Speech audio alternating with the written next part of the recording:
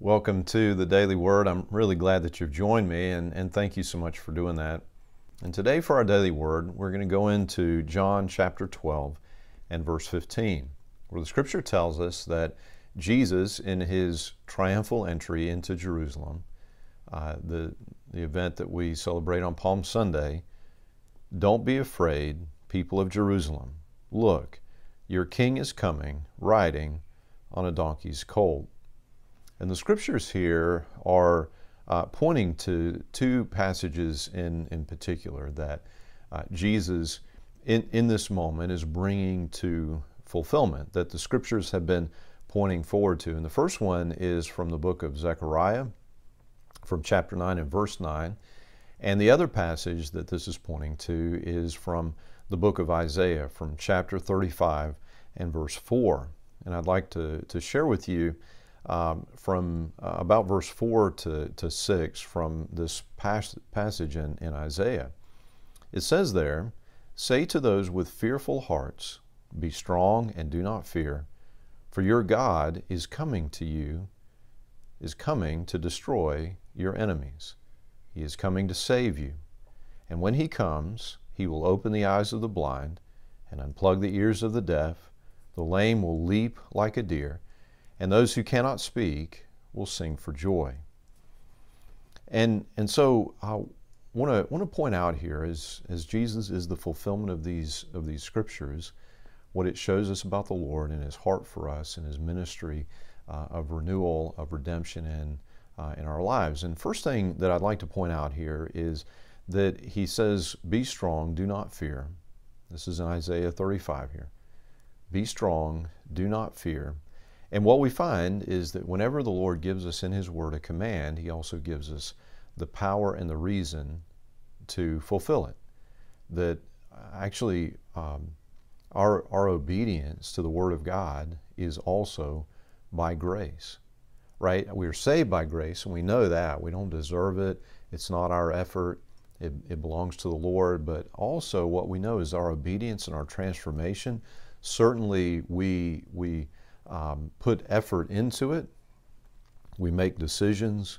We, we enter into discipline so that we're following the Lord, but we acknowledge that that transformation is a work of the grace of God, that our obedience is actually enabled by God. And so we're receiving power from God in, in a certain way here to be strong and not be afraid. How is that? Well, we're told God Himself, right? This is, this is extraordinary language here in, in Isaiah 35, which again is fulfilled in Jesus. God Himself is coming to destroy your enemies. And what we understand now, uh, we understand this fully from the scriptures that our true enemy is actually not flesh and blood, that we actually are in a spiritual battle, and that the enemy of our souls actually has us captive because of our sin, because of our fear of death, and it is Jesus who, by his cross, liberates us from his, uh, his hold over us and, and indeed destroys our enemies. He is coming to save you, and indeed, by his cross, by his grace, he has. He has saved us. That is, he has restored us to God. He's reconciled us to God by his cross. And he confirms this. This is this is really amazing stuff because as we're tying in here with Isaiah 35, we're actually being pointed to other scriptures too. Uh, for instance, if you want to look at, at Luke chapter 7, verse 22, where uh, John the Baptist is in prison, he sends a messenger to Jesus. Are, are you really the one? Just confirm this for me. Uh, I'm facing my death. I, I, I, just need that reassurance.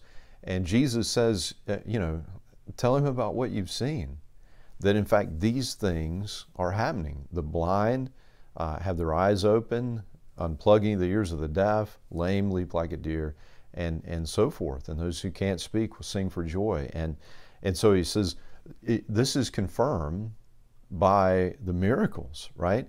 But not only that, this truth about Jesus is confirmed by the Holy Spirit.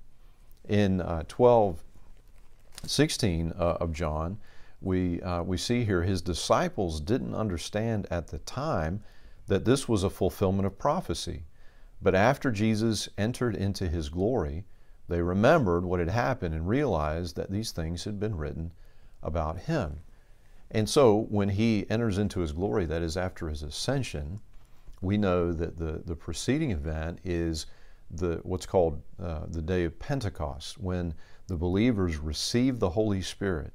And it is by the Spirit that, that we understand the Scriptures, that God gives light, gives understanding, where we can actually see and make these connections and, and hear from the Lord in, uh, in our lives. So it's confirmed by his miracles that this is the truth of who he is, that he is God come to us, come to save us, and confirmed by the work of the Holy Spirit, giving uh, light to the Word, uh, making the Word alive, apply to our lives, and, and so on. And what I'd like to point out finally is that what they're seeing as the Holy Spirit really opens the Scriptures so that they can, they can understand fully that it's all about Jesus is that open to them and open to us is the fullness of the salvation of Jesus Christ. That He came once, yeah, for sure. He obviously did. He came and He, he taught and He opened the way of life and He demonstrated uh, who He is. Uh, he showed who God is, the very character and nature of God. We, we've seen His glory and, uh, and He has ascended into heaven, but He has promised that He will come again. So He came once, He lived, He died for us, He rose again, saving us from our sin, and He will come again and He will bring the fullness of the restoration of creation. And so, as we're looking then uh, in, in Isaiah uh, 35, let me just get back to it here. Uh, what, what we're seeing is a glimpse of the fullness of the redemption that Jesus will bring. And this sounds an awful lot, doesn't it? Like Revelation chapter 21. Those who have been ransomed by the Lord, and we have been ransomed, right? He has paid the price for our redemption. They will enter Jerusalem, God's holy city. They will enter Jerusalem, that is the New Jerusalem, singing, crowned with everlasting joy.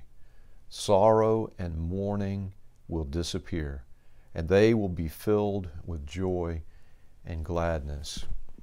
So, what I'd love to invite you to do is to allow the Holy Spirit to give light to these passages to see the fulfillment of God's Word in Jesus Christ and, and to, to really see the fullness of the work of salvation that Jesus is doing. We have an amazing God, we have an amazing Savior, a risen Christ uh, the anointed one of God, who truly is bringing a work of new creation in us and ultimately his return to the whole of God's good creation. Thanks be to God. Amen. Amen. And until we get a chance to speak again, I pray that God would bless you and keep you.